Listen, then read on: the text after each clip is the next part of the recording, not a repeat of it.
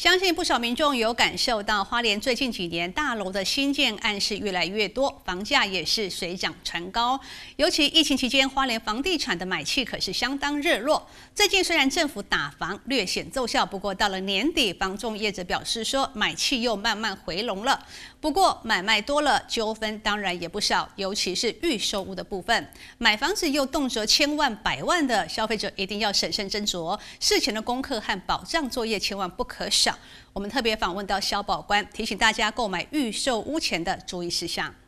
一个一个大楼建案，一张一张的预售广告，让想买房的民众眼花缭乱。根据地震单位统计，花莲地区的不动产买卖数从一百零七年三千三百多件往上攀升，一百一十年疫情期间达到五千三百多件是最高峰。后来政府推出打房政策略显奏效，但房仲业表示，二零二三年底有机会回温，而二零二四被预估是买房的最佳时机。在二零二二年的时候，政府开始打房，对大家可以就是有感受到，就是一连五波央行的打房利率的部分的话，呃，有做调整。那以及就是我们的政府在二零二三年七月平均地权上市。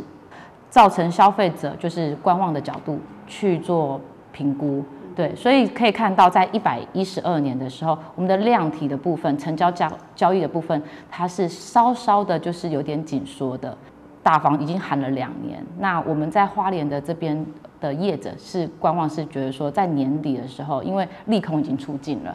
对，下半年的话，市场应该会有一个反弹的那个效益在。大家都说，在二零二四年的时候会是最佳的入场时机。除了中古屋的买卖，花莲最近几年很夯的就是大楼预售屋的建案，平均三到五年交屋，但这段期间有可能面临的风险，消费者也要特别注意。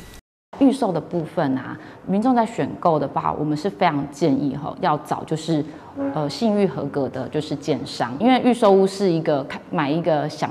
一个看不到的想望，可能他在二两年到三年之后，他才会有成屋的情况，对，所以说就是他没有办法马上入住，在没有办法马上入住的状况时，哈，建商的信誉是非常重要的。再来是要找就是所谓的预售屋，它的合格的就是。五种的就是旅保方式，对内政部规范的五种旅保方式，它才能够有效的保障消费者。他当他的钱，他就是在购买预售屋的时候，他的钱不会说平白无故就可能被建商，可能因为倒闭潮，或者说建商的资金的流量不是这么稳定的时候，它会影响到消费者的权益。买卖多了，纠纷当然也就多了。消保官表示，行政院消保处有核定一个定型化契约的范本。建议民众在买屋前下载和你要买的建案厂商所提供的契约书内容是否一样完整。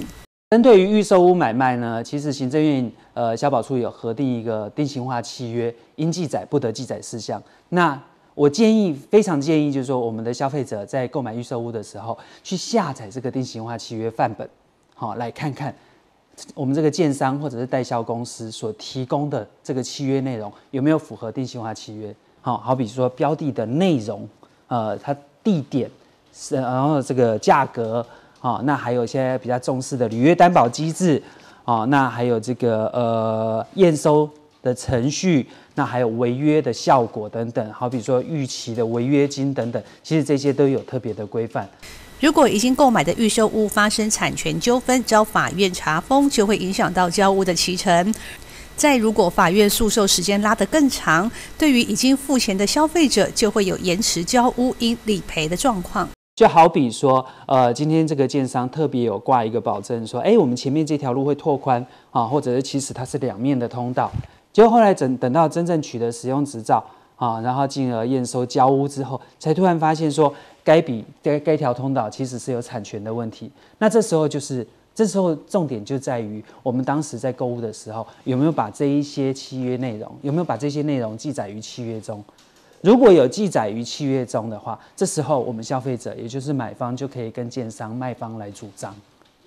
那如果没有记载在契约内容里面，那这时候就很吃亏了。好，所以呃这边一再提醒，就是说我们一定要详细的去 check 我们的这个契约内容。完不完整，详不详实，好，包括当时呃，建商一开始代销的时候给的任何的宣传品、广告单、折页，甚至样品屋等等，好。啊，这些其实我们在购买的时候，您可以记录，就把它全部记录下来。